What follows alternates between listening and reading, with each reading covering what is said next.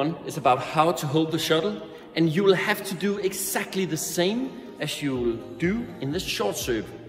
The shuttle has to point to your feet or to your knees.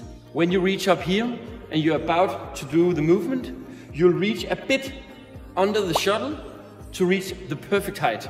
If you lay it down like this and you'll reach under it, you will hit the feathers, that is not allowed, and you will lose all of the control in the stroke. Step two is about how to create the energy to your stroke.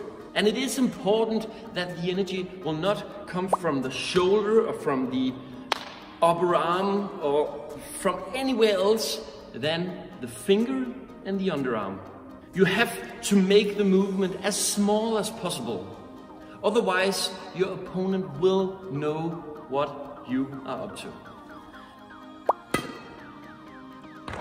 This will be at the first backline and I'm only using this movement. And if you cannot do this, this is what you will have to practice at home. Are you curious about the perfect height on your flick serve? Then look at this. When your opponent is standing on the court, don't matter if it's here or if it's here, you will have to imagine that instead of doing like this, your opponent will do like this. 10 centimeters over your opponent's racket right now is the perfect height on your serve. Your opponent will not be able to reach the shuttle if you stretch and you will force your opponent to do a movement behind the shuttle and going like this. And that is the difficult part of receiving this flick serve.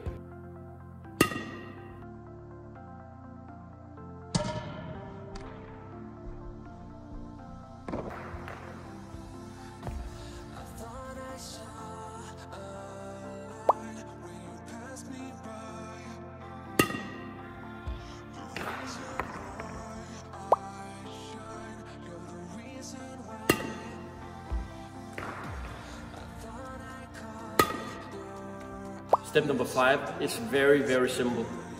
Do it. Do the flick serve at training and in match.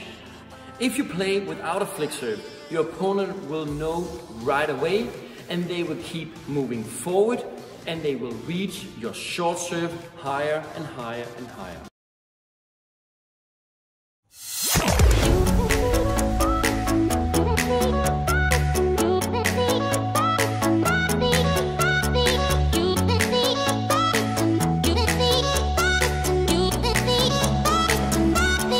Position before starting the serve is so important if you want to do a very good serve.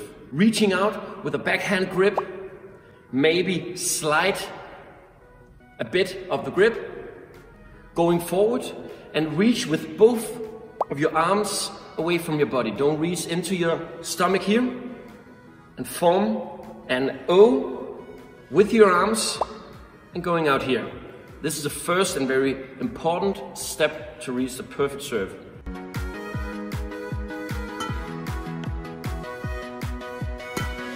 Positioning your feet is also a great, great aspect of this short serve. I like to do my right foot in front and my left foot a slight back. Other ones do it with both of the foots close to the line. I like this, so this is my choice.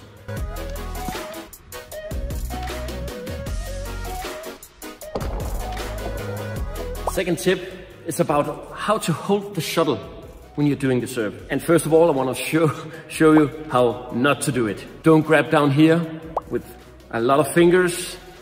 Take it up here. These two fingers. Grab one or two feathers. And this is your position.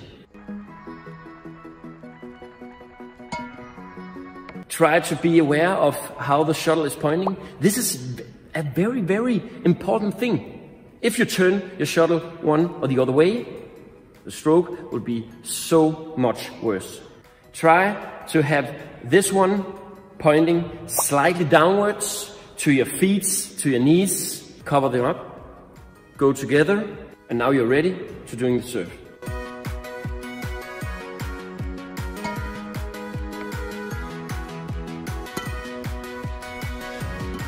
Remember, the shot is supposed to get enough speed to reach the net, but when it's here, it has to loosen the speed and go downwards.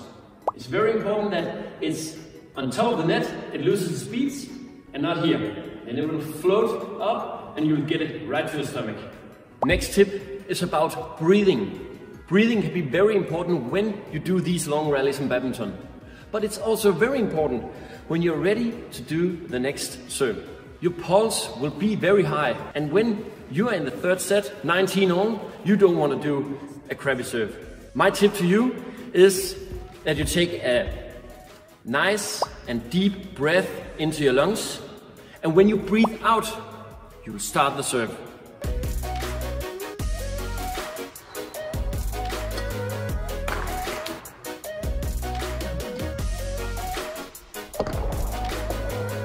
Next tip is for the eyes.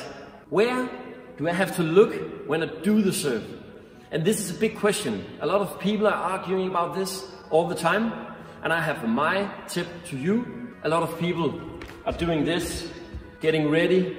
And when they're ready, they are looking on this position. And of course, this position is important. I told you before. But this position is now in place. And your eyes has to be on this place. This is the spot for the eyes to look when you're doing a serve.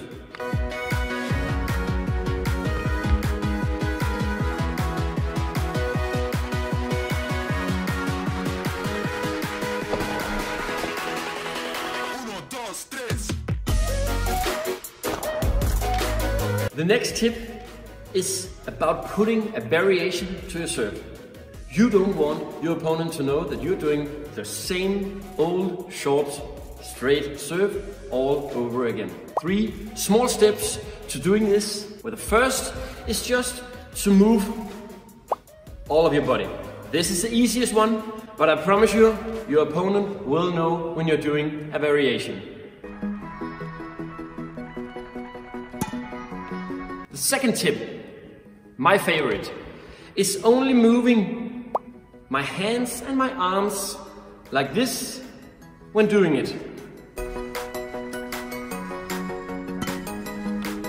And the last one, only moving the place of the shuttle from here to here.